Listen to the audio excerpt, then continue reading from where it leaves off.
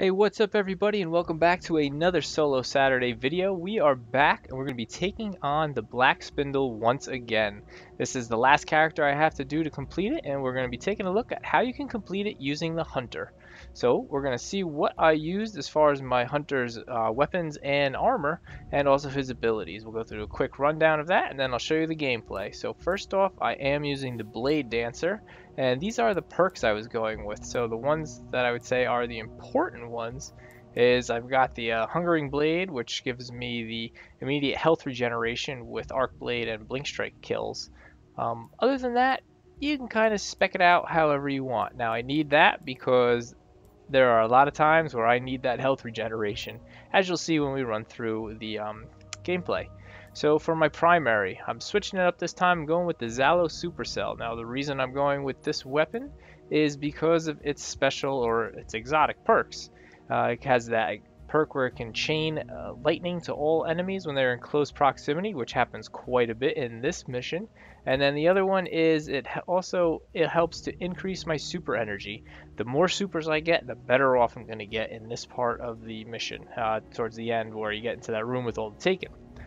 So the next gun we've got, we got just a legendary shotgun. Um, important thing that you want to do if you are going to try to mimic this is you want it to have solar burn. And if you have a uh, full auto that also helps. You know you want to be fast firing and you want it to be solar burn because a lot of the enemies in the taken rooms have solar shields. So this will help take those um, shields down pretty quickly. Next up we are going with the machine gun from the raid. This is the heavy machine gun from the hard mode raid. And the reason I'm using this, again, it's a heavy, I or it's heavy, it's a solar.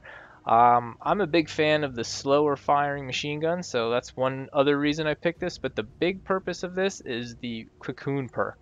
Uh, the fact that I do not have to reload this weapon saves me a ton of time, especially this is a timed mission at the end.